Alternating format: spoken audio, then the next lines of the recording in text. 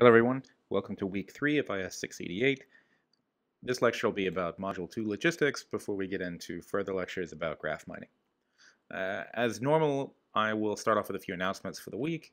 Uh, note that I have put together the Medium publication for the class, and I've added all of you as writers.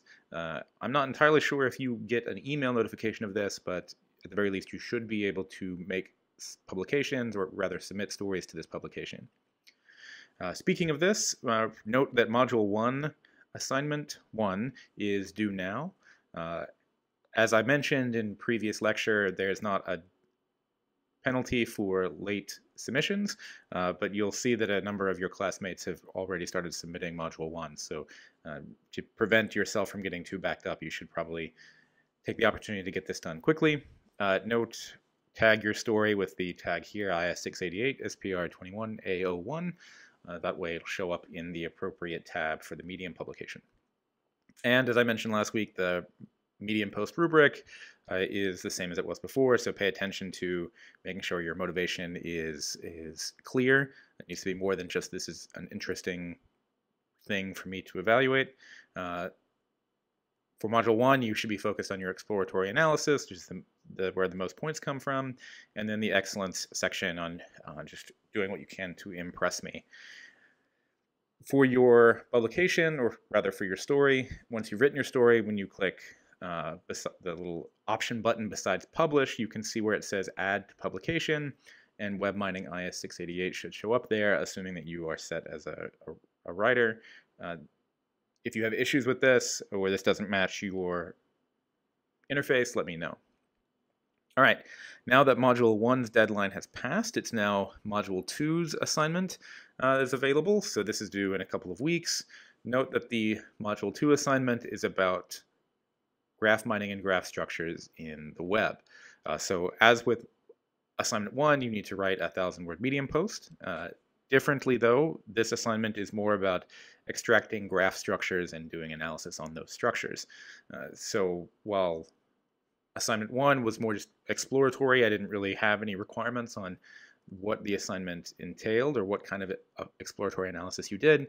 Here I'm specifically asking you to extract some graph network and do some analysis from chapter 5 and chapter 10 and define what it means for nodes to be important in this graph and what your graph structure actually entails. As before, you need a strong motivation uh, about why the network you're looking at is interesting.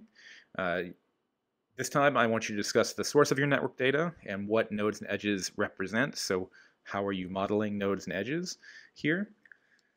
How are you defining importance for your graph? So the lecture will go over, uh, for this week, talks about PageRank and evaluating importance as a term of, or a, a metric for authority, uh, or the HITS algorithm, which has hubs and authorities as well.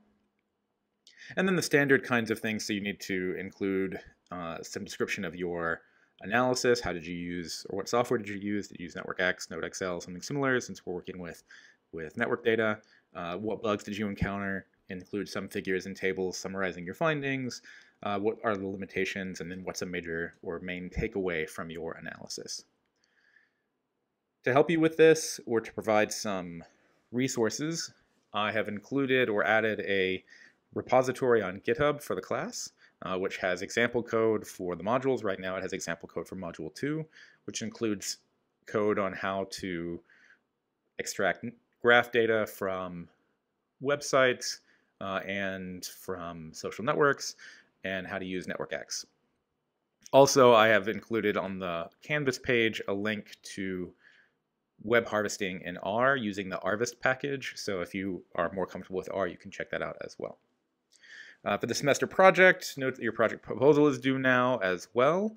Uh, going forward, I have created a project discussions board.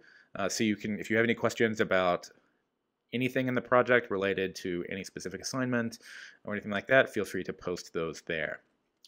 All right, for this week, the learning objectives include constructing graphs from web structures, describing at least two ways an adversary may try and exploit search engines, uh, exploring the PageRank algorithm and how PageRank captures importance in graph structures, uh, constructing a transition matrix to model web pages, and differentiating hubs and authorities. So we'll talk about that in the next set of the lecture.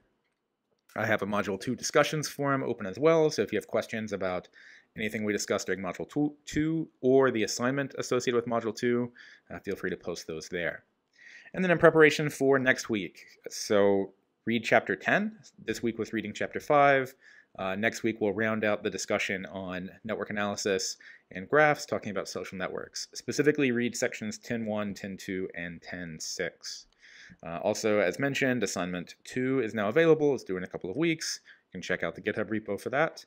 Uh, expect feedback from me soon on your project proposal. Uh, thank you to everybody who posted in the project ideas forum. That was useful, I think. That led to some good feedback for you.